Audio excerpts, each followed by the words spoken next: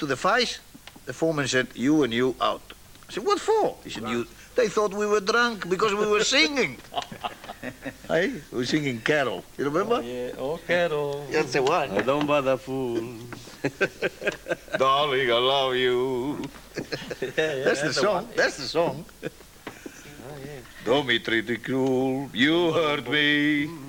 And you made me cry. But if you leave me, I will surely die. Darling, there will never be another. Because I love you so.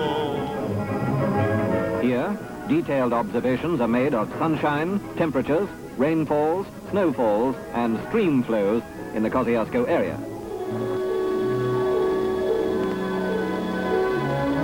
This is our world today.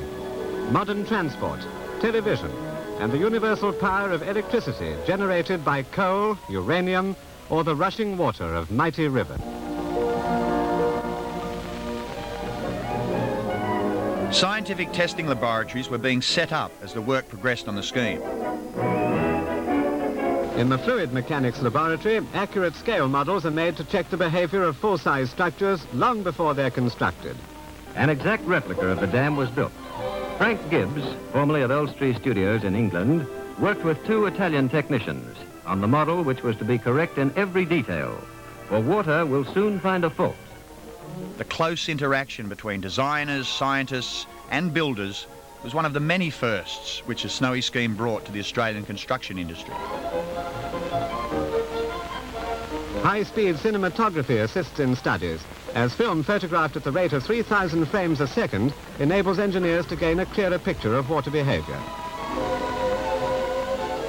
And though the methods may seem crude 50 years on, the actual project design can hardly be faulted, even today. The positions of the drill holes are then marked on the rock face. The drills come into position.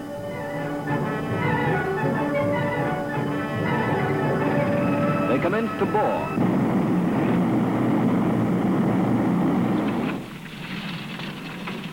The first American contractors came to the scheme in 1954. Their arrival marked the end of an era for the easygoing Australian approach. When the American turned up on the scene, he was one of the bosses, uh, but he said, what the goddamn hell are you doing here, sort of thing, and uh, I said, boiling the billy. Not on my job, you don't, and took the boot under the billy, kicked it down the. So he issued thermoses, and that was the instruction then. You didn't stop and boil the billy, you had your hot cup of tea with you.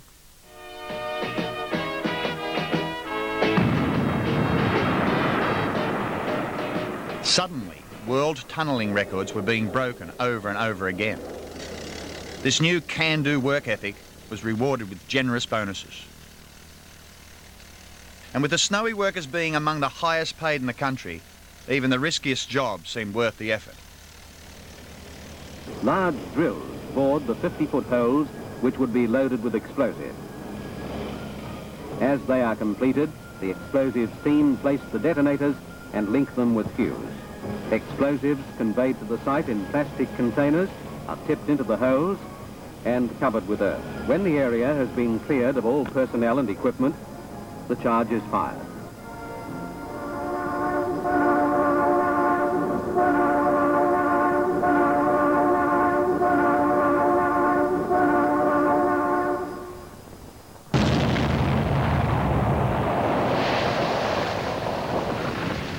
Was the first aid man, right? I'd be there at two in the morning. I had little electric box that said lightning's in the area. So if they're loading up with gelignite up at the face, and we have rails that come right out of the tunnel, about two feet away from where I'm sitting with my valuable little life, right? And this box is going zing bang, zing bang, zing bang. And then I see the lightning. I phone up the boss at home, the American.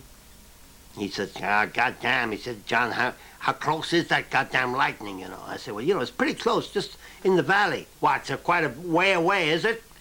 I said, it was kind of coming closer. He said, well, you phone the guys up, up at the face there and tell them to keep on working. That is, loading the face with gelignite.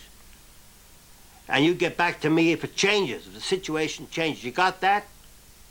So in other words, everything is in my lap, and I've got no real, I've got every, all the power and no power at the same time, which you know, I mean, really wakens you up at two in the morning, doesn't it?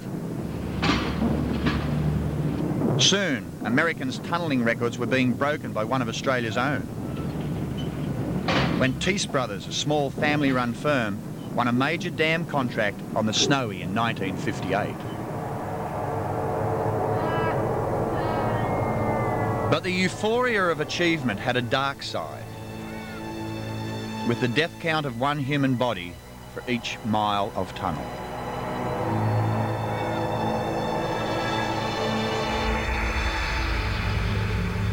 I tell you, you can shit yourself, yeah.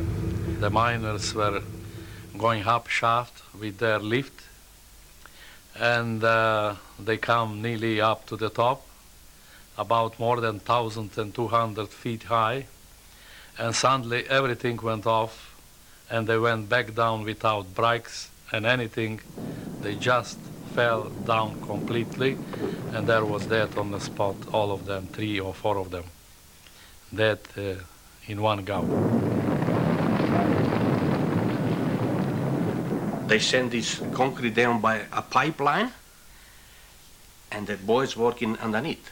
Three or four boys working underneath to uh, fix up the concrete.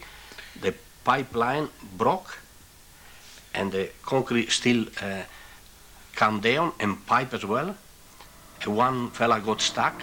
Because the concrete had a quick set, and they couldn't free him because the concrete was setting really quick, and he, you know, they had to either cut him off somewhere or, uh, or leave him there, and he finished up staying there.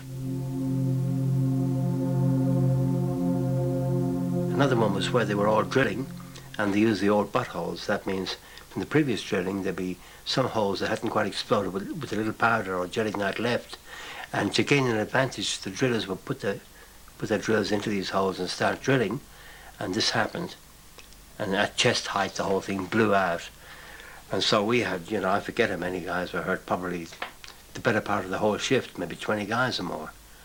With bones sticking out of rubber boots and guys with holes in their stomach and very, very bad. 121 men lost their lives on the scheme, half of the deaths due to tunnelling accidents.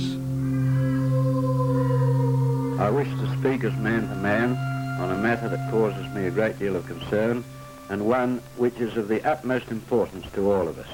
Accidents and injuries which have resulted in the loss of 15,000 man days last year. Many of these accidents were caused through plain carelessness. Many injuries cause unnecessary pain. They also cause hardship through loss of pay. The Money Talks message was blunt, but the drive for a safer workplace on the Snowy was well ahead of its time. A workman's steel toe-cap boot struck by a rock which fell 30 feet saved the man's foot from severe damage. Wearing this helmet avoided head injury.